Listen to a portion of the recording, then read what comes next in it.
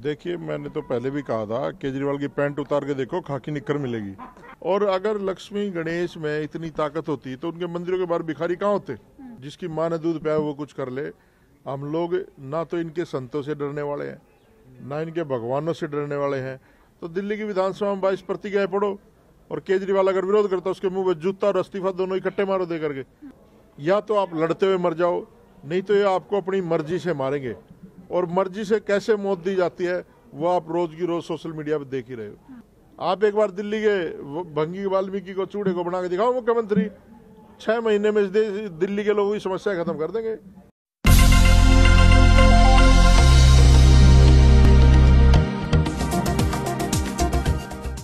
नमस्कार, स्वागत है आपका जनित आवाज़ में। इस वक्त मैं गढ़वाल भवन मौजूद हूँ और मेरा नाम पूजा है।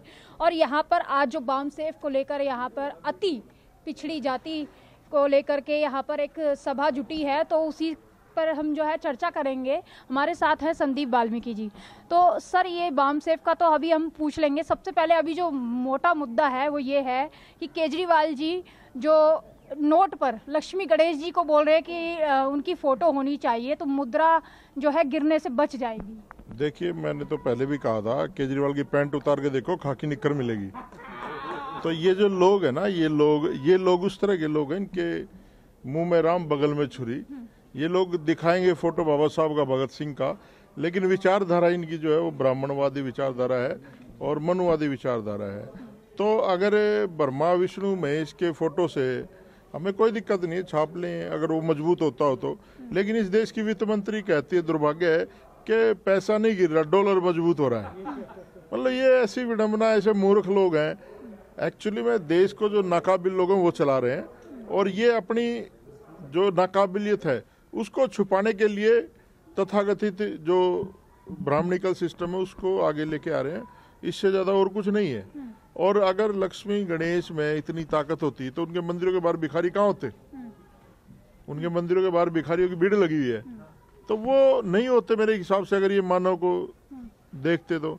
और अगर ये सृष्टि भगवान ने बनाई है जिसको ये कहते हैं उन्होंने बनाई तो ये हमारे जैसे नाला को पैदा क्यों करते जो इनको नकारते हैं?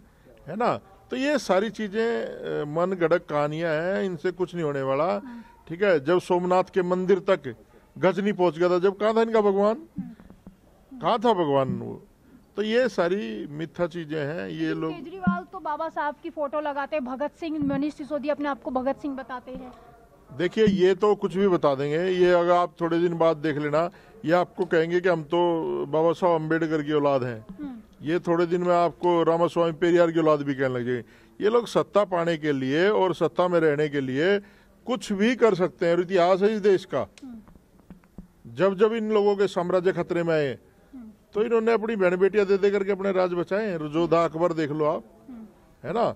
बहुत सारे ऐसे राजा हैं जिन्होंने अपनी बहन बेटियाँ दे करके राज बचाया अपना। और ये कहावत भी वहाँ से शुरू हुई थी कि बहन के भाई कुत्ता उसे मान सिंह बन रहा सरदार। मान सिंह ने अपनी बहन दी थी जोधा अकबर के यहाँ। और वो खुद कहता था मैं सरदार हूँ। तो तो दहेज में था सारा सौदा। ये तो नालायक लोग हैं बेसिकली देखिए मैं कहूँगा और बिल्कुल कड़े शब्दों में जिसकी माँ ने दूध पिया वो कुछ कर ले।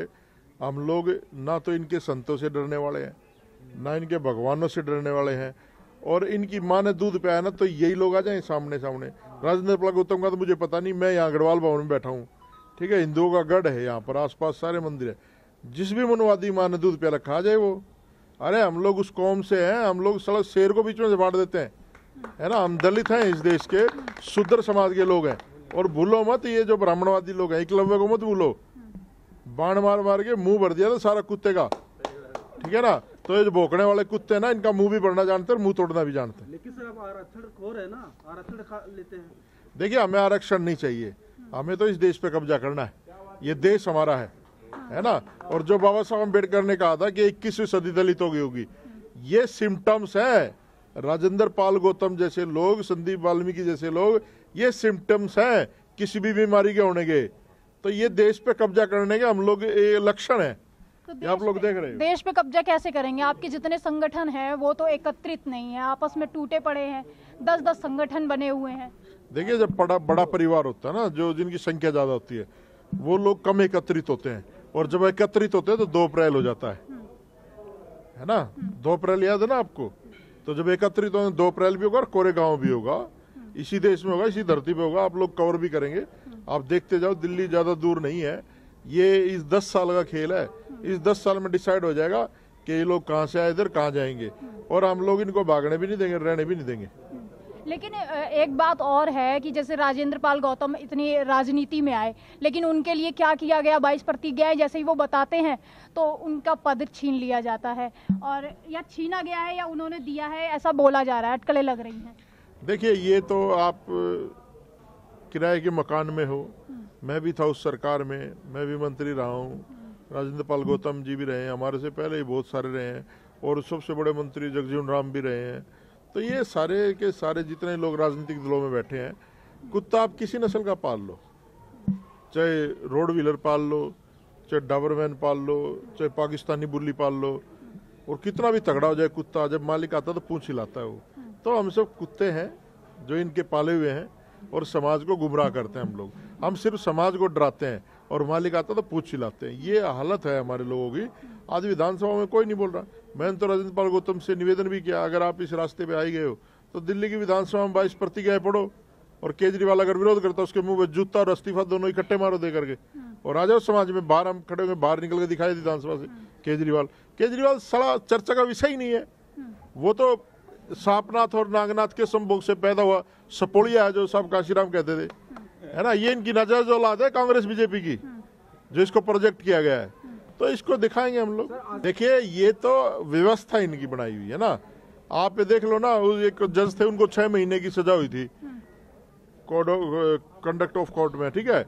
और उसी मामले में इसको ये जो था प्रशांत भूषण एक रुपए जुर्माना करके छोड़ दिया। तो ये व्यवस्था उन लोगों की बनाई हुई है। वो जिस मर्ज़ी को जेल भेज दें जिस मर्ज़ी को जो मर्ज़ी कर दें ये तो बताते हैं कि सृष्टि की रचना भी कैसे हुई, है ना? अपनी बच्चियों के साथ बलात्कार करने वाले लोग हैं है ना? आप लोगों ने इनमें धर्म ग्रंथों में भी लिखी हुई बहुत सारी चीज़ें। तो आप लोगों को डरने की ज़रूरत नहीं है। मैं तो एक पूरे समाज से आप लोगों के माध्यम से बात करना चाहता हूँ। देखो भाई, ये लड़ाई है। या तो आप लड़ते हुए मर जाओ, नहीं तो ये आपको अपनी मर्ज़ी से मारेंगे। और मर्ज़ी से कैसे मौत दी जाती है वो आप रोज की रोज सोशल मीडिया पे देख ही रहे हो। और लड़ते हुए मरेंगे तो शहीद कहलाएँगे और समाज के लिए हम कुछ कर पाएँगे। सर लेकिन आप अभी इतना सभा जोड़ते हैं आप लोग इतना प्रोग्राम करते हैं बहुजन समाज के लिए लेकिन बहुजन समाज और दलित तो आज भी वैसे ही पिट रहा है इतने रेयर रेयर गाँव हैं तो वहाँ पर अभी भी जो है दलितों के साथ अत्याचार हो रहा है बेटियों के साथ बलात्कार हो जा रहा है कोई बोलने वाला नहीं है आवाज़ उठाने वाला नहीं है ये कब होगा? देखिए ये आवाज़ें लगातार देश में उठ रही हैं। लेकिन मुझे साहब काशीराम की एक बात याद आती है इस टाइम। साहब काशीराम जब सांसद थे तो बिहार में एक बलात्कार हुआ था और साहब काशीराम वहाँ नहीं गए थे। तो पत्रकारों ने कहा कि वहाँ पर सभी पार्टियों के नेता गए, सभी लोग गए हैं। साहब काशीराम आप क्यों नहीं गए? जैसे मनीषा हाथरस वाले कांड में आपने देखा होगा, वहाँ प्रियंका गांधी भी गई, राहुल गांधी भी गया, सारे लोग गए ड्रामे करने के लिए। ठीक है? लेकिन जब साहब काशीराम से सवाल पूछा गया तो साहब ने कहा कि मैं कहाँ कहाँ जाऊँगा? हर रोज, हर घंटे, हर मिनट हमारी बहन बेटी को बलात्कार होता है। तो मैं कहाँ कहाँ जाऊँगा मैं एक ऐसी व्यवस्था बनाने में लगा हूँ जिससे परमानेंट रुक जाएँगे। तो इस देश में अगर आपको अपने लोगों के अत्याचार को रोकना है ना तो इस देश का शासक आपको बनना पड़ेगा। और जिनके शासक होते हैं, उनकी बहन बेटियों के बलात्कार नहीं होते। उनकी बहन बेटियों की आबरू नहीं लूटी जाती। उनके लोगों को नंगा करके नहीं पीटा जाता। उनके लोगों के मकानों पे, घरों पे कब्जे नहीं किए जाते। किसी भी तरह का शोषण शासक वर्ग के लोगों के साथ नहीं किया जाता। तो यही हाल देश में मुसलमानों का है, यही हाल दलितों का है, यही हाल पिछड़ों का है, सभी का सेम वही हाल है। और ये जो नलायक समाज है, जिसकी हम लोग चर्चा कर रहे हैं, जिसको हम सुधारने का काम कर रहे हैं, ये सब काशीराम कहते थे, ये सोए हुए लोग हैं। और आप अपने घर में सुबह चार बजे उठ जाओ, जितने लोग सो रहे होंगे, सबको बुरा लगेगा। तो जो सोए हुए लोग हैं, इनको जागे हुए लोग अच्छे नहीं लगते। वो बुराइयाँ भी अपने हमारे लोगों से ही हमारी करवाते हैं कि फलाना ऐसे कह रहा था डिकड़ा ऐसे कह रहा था वो ऐसे कह रहा था वो ऐसे कह रहा था। तो ये व्यवस्था है परिवर्तन होने में हम तो बहुत जल्दी जाग। गए देखिए जिसको काम करना था ना वो तो महलों में बैठी है। जिसको साहब काशीराम उत्तराधिकारी बनाए गए थे वो तो हज़ारों करोड़ की संपत्ति अर्जित करके बैठी है। इस देश में अगर कोई पहुँचा रहा है ना विचारधारा तो बाम से भी पहुँचा रहा है। पूरे देश में लोग घूम रहे हैं। पूरे देश में काम हो रहा है। और वो सुनो मेरी बात मेरी बात सुनिए। और वो जो उनके कुकर मुत्ते हैं ना मैं कहता हूँ गधा तो मोदी का भी ऐसा मायावती का भी ऐसा गधे ने तो गधा ही रहना है। वो तो नहीं बदलना। वो फेसबुक के कमेंट करते हैं कि जी ये चंदा मांग रहे हैं। और मायावती कहती दीपावली पे उपहार मत लाना पैसे दे देना। नहीं नहीं पार्टी मेरे जैसे लोगों की तो घर वालों की ज़रूरत नहीं होती। पार्टी हमारी कोई नहीं है। पार्टी वो भी ब्राह्मण समाज की पार्टी है। वहाँ भी मिश्रा जी की चलती है जो हमारा एक बड़ा अमरेला होना चाहिए था। आज वो कहा कितने छेद हो गए उसमें? पानी की बूंद भी सीधी निकलती है, टपक के नहीं निकलती उसमें से। ज़ीरो पे आके खड़ी हो गई है क्या कारण है? वो तो बाबा साहब अंबेडकर के रिजर्वेशन की वजह से है। नहीं तो इनका कोई अपने घर पे जो चौकीदार न रखे। हमारा जो समुदाय है, वो मूल निवासी समुदाय है। हम पिचासी परसेंट लोग हैं। जब ब्राह्मण इस देश का अकेला राजा बन सकता है, आज इस देश में अस्सी कैबिनेट सेक्रेटरी हैं। उसमें एक भी ओबीसी नहीं है भाई। तो उनमें काबिलियत बताई जाती है, उनमें काबिलियत है। हाँ काबिलियत है ना खीर से पैदा हो जाते हैं मुँह से फाड़ के निकल आते हैं हाथों से निकल आते हैं पेट फाड़ के निकल आते हैं। काबिलियत है ना? किसी को देखा मुँह से बच्चे पैदा करते हुए? किसी को देखा हाथ से बच्चे निकलते हुए? किसी का पेट फाड़ के कोई निकला हो? है? यही काबिलियत है इन लोगों में। नालायक लोग हैं यूपी की तो शिक्षा मंत्री मोदी जी को अवतार बता रही हैं कि भाई वो अवतार हैं कभी भी कितने टाइम तक भी प्रधानमंत्री रह सकते हैं। देखिए इस देश का हर ब्राह्मणवादी सिस्टम का व्यक्ति जो जाति व्यवस्था और वर्ण व्यवस्था में विश्वास करता है, वो मोदी को विष्णु का अवतार बताएगा, क्योंकि वो उनका काम कर रहा है। आज मोदी अगर कह दे कि हम बाईस प्रतिज्ञा का समर्थन करते हैं, आज ही कुत्ते का बच्चा कह देंगे ये लोग कि वो कुत्ते का बच्चा है, वो गधा है, उसको कुछ नहीं आता अनपढ़ है, चाय बेचने वाला नहीं बिठाना चाहिए था। तो जो इनका काम करेगा, अभी आपने देखा ना मुर्रम को जब राष्ट्रपति बना, उसका शुद्धिकरण किया गया। है, गोविंद के साथ क्या हुआ? इस देश में हर उस व्यक्ति का वही हाल होगा जो इस मनुवादी व्यवस्था में हमारा आदमी जाता हमारा सोचता आदमी, जैसे आप देखते हो दिल्ली शहर में आप लोग रहते हो, कई बार रेड लाइट पर खड़े होते हो तो कुत्ते बैठे होते हैं गाड़ियों में ना? और मेम साहब की गोद में बैठे रहते हैं, बड़ी अच्छी अच्छी नस्ल के होते हैं। तो क्या वो मर्सिडीज में कुत्ता बैठने के बाद इंसान बन जाता है? तो ऐसे ही हमारे लोग हैं इन पार्टियों में ना। वो सोचते हैं मर्सिडीज बैठे हुए कुत्ते और जब ये चूड़े चमार लाठी उठाएँगे, फिर कहाँ जाएँगे? ये नस देख के लाठी मारते हैं। और भंगी की लाठी ना लक्ष्य प्राप्त किए बगैर वापस नहीं आती। अभी तो चमार जा गया चमार, जिस दिन ये चूड़े इकट्ठे हो गए ना इसके साथ, उस दिन पता चलेगा दिल्ली का खुसरो भंगी आ गया दोबारा। तो आप लोगों को समझना पड़ेगा, आज व्यवस्था कुछ और है और ये कड़वी बातें इसलिए कहता हूँ ताकि लोगों तक ये बातें जाएँ। मैं वाल्मीकि नहीं हूँ। बिल्कुल आप लोगों को मैं ऑन रिकॉर्ड कह रहा हूँ। मैं इस देश का मूल निवासी हूँ। मैं इस थोपी हुई व्यवस्था को नहीं मानता। तो ये सारे हर, हर आदमी को निकलना पड़ेगा। और मैं ये बात इसलिए कहता हूँ मुझे चुनाव चुनाव नहीं लड़ना। मुझे कुछ नहीं बनना जो बनना था बन लिया। अब पूरा जीवन ही समाज का काम करना। अब जोधा अकबर की बात बताई थी ना मैंने आपको जीजा किसको बनाया आपने? राजपूतों ने। जोधा किसके ब्याही थी? किसके ब्याही थी? मुसलमान के ब्याही थी ना? देखियो हमारा तो एक्शन और प्लान सड़क ही है भाई। सड़क पे काम करेंगे अपने लोगों तक पहुँचेंगे। जब इनकी समझ में आएगा जब जो राजपाट बदल जाएगा। है ना? हम लोग जो है ना व्यवस्था परिवर्तन के लिए लड़े हुए हैं। राजपाट तो बजा पंद्रह साल शीला दीक्षित रही तो क्या हुआ इनका? ये जब भी हड़ताल करते थे जब इनकी तनख्वाह मिलती थी आज केजरीवाल को हो गया कितना टाइम? ये आज भी हड़ताल कर रहे हैं। तो व्यवस्था नहीं बदली। अगर दिल्ली सल्तनत की कुर्सी पे केजरीवाल झाड़ू वाले की बजाय ज़िले चूड़े का छोरा बैठेगा तो क्या ये कच्चे रह जाएँगे क्या? आप एक बार दिल्ली के भंगी वाल्मीकि को चूड़े को बना के दिखाओ मुख्यमंत्री। छह महीने में दिल्ली के लोगों की समस्या खत्म कर देंगे। यहाँ व्यवस्था नहीं बदलती। व्यवस्था वही रहती है जो पहले थी। तो चाहे मोदी आए, चाहे गांधी आए। देखो, मैं पार्टी का तो किसी का समर्थन नहीं करता। ठीक है, क्योंकि कोई भी पार्टी जो है, मूल निवासियों के लिए, हमारे लोगों के हक अधिकार के लिए काम नहीं कर रही है। है ना? अभी एक नई बात सुनने में आई थी सोशल मीडिया के माध्यम से कि सीमा कुशो को यहाँ का सीएम डिक्लेयर कर दिया मायावती जी ने। तो उसको ये जो 50 परसेंट चूड़े चमार तो दिखे नहीं कुशवा एक परसेंट भी नहीं है। है ना? चलो, अच्छी बात हो, हमारी बहन बेटी है, करे, लेकिन पता नहीं वो आते आते कोई और ज़्यादा चढ़ावा चढ़ाएगा, क्योंकि जब भी चुनाव होता है ना, और जब भी बीएसपी मज़बूत होती है, अगर हरियाणा में मज़बूत की बीएसपी किसी ने तो मान सिंह मनेडा ने की तो चौटाला राखी लेके पहुँच जाता है। पंजाब में मज़बूत होती है तो बादल राखी लेके पहुँच जाता है। दिल्ली में मज़बूत होगी, केजरीवाल बाँध देगा राखी पाँच सात सौ करोड़ की, क्या फ़र्क पड़ रहा है बहन जी को? उसको कुछ नहीं फ़र्क पड़ता। ना ना ना ना, मायावती के पास तो भूल के भी नहीं जाना कोई। भूल के ही मतलब वो सांप रीजन ये रीजन ये है कि मायावती मूवमेंट से भटक चुकी है।